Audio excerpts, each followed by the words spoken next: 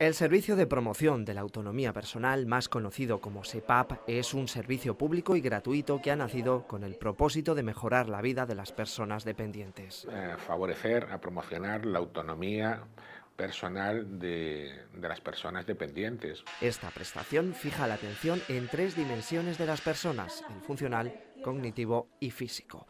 Los beneficiarios han de ser mayores de 18 años y con grado 1 de dependencia. Aquí atendemos a personas que tengan reconocido un grado 1 de dependencia. Eh, quiere decir personas que conservan todavía cierto grado de autonomía, pero que precisan ayuda para algunas tareas de, de la vida diaria. Entonces, bueno, se trata eh, de prevenir ese deterioro de la situación de, de, la dependencia. En este centro de Illescas, en Toledo, los diferentes profesionales se vuelcan en estas personas. A lo largo de 20 horas al mes y en sesiones grupales se llevan a cabo diferentes acciones. El objetivo se consigue en la mayoría de los casos. Sobre todo ser independiente, lo más independiente posible y poder llevar a cabo sus actividades de la vida diaria con la mayor autonomía posible y el menor, la menor necesidad de apoyos. La forma de acceso a estos centros se hace desde los servicios sociales de la localidad. Muchas de estas personas acuden con la motivación de, ante todo, socializarse, aunque también se encuentran con otras estimulaciones. Es un ejercicio para despistarnos, hay que estar muy atentos. Por lo menos te entretienes y pasas aquí tres horas haciendo actividades y se te pasa la mañana de momento y hablando, y hablando con la compañera.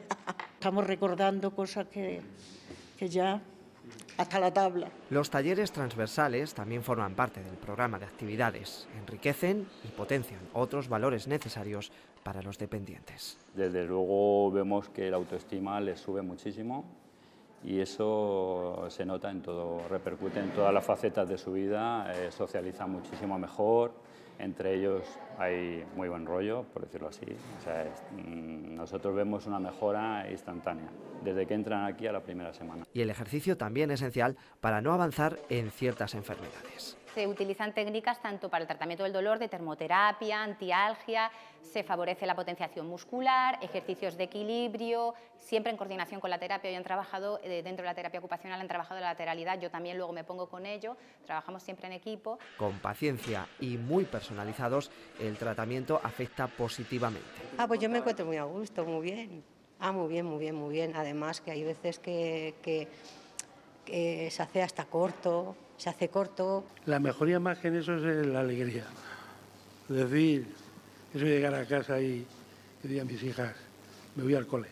En otras provincias existen, para completar la oferta, tres servicios de este tipo, pero itinerantes. De esta forma, el profesional llega al usuario para que ninguna de las personas dependientes se queden sin poder utilizar este servicio tan beneficioso para este colectivo.